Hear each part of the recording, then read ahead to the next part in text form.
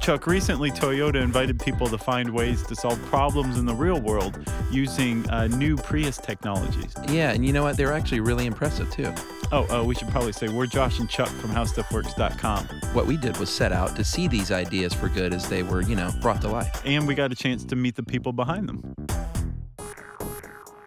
This is Birkin with the uh, power plant gym. Yeah, I know, Josh. I was there too. Remember?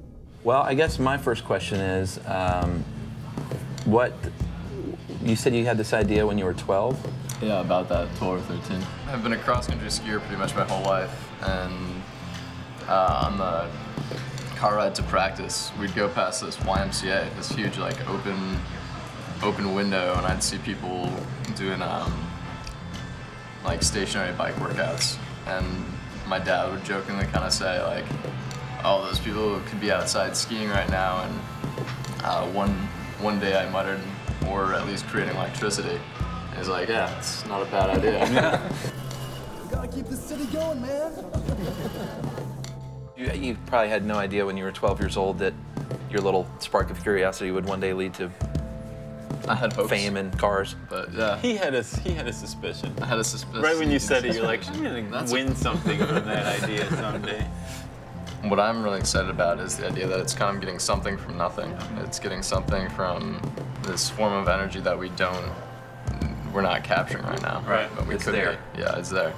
And you can make fun of your friends. You'd be like, that's only 40 watts, you watts. Do your part. Well, can you kind of explain how the how the mechanical energy is captured and, and transferred? I sound knowledgeable, but I'm a pretty good actor, so maybe I'm not. So, um, well, so if you have anything spinning, you can connect that to a magnet. So what you want to do is just find a way to change the way that the force is being used. You know, originally you have it just going up and down. right. And so uh, with these resistance cords, you have this way to to get something spinning there. Right. Right. And that's how, that's the, the premise of the idea.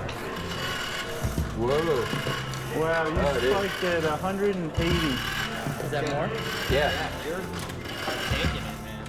There's this um, sandwich place that uh, there's we're supposed to eat at, and I can't Pittsburgh. I can't remember the name of it. Have you heard of this place? I haven't. So supposedly it's the greatest sandwich on the planet.